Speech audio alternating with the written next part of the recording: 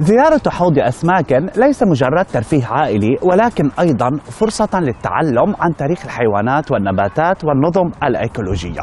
بما في ذلك الحفاظ على أنواعها وحمايتها وتحمل مسؤولية تجاه البيئة.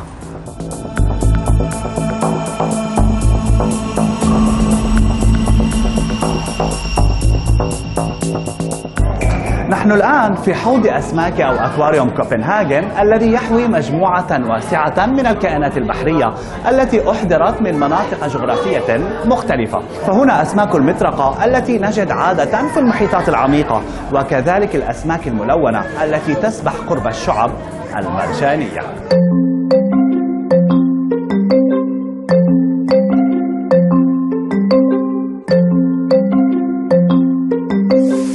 أنصح بالتجول في منطقة أحواض الأمازون إذ تشاهد عزيزي السائح الفراشات الاستوائية تطير من حولك وأسماك البيرانس الشرسة في أعماق المياه وكذلك أفعى الأكوندا البرمائية.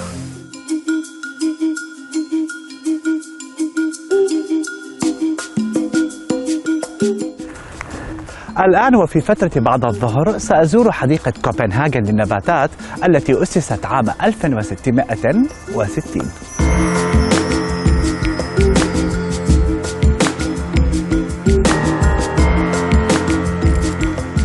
تحوي هذه الحديقة الفريدة في الدنمارك 13 ألف صنف من النباتات منها 600 دنماركية وأكثر من ألف نبتة معمرة جلبت من مناطق مختلفة من العالم إضافة إلى النباتات الصخرية التي يزيد عددها عن المئة نبتة.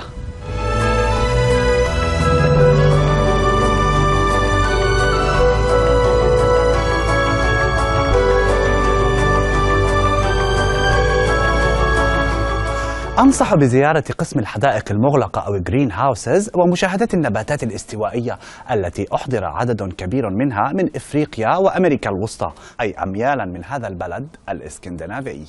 ليث بزاري العربية كوبنهاجن دنمارك.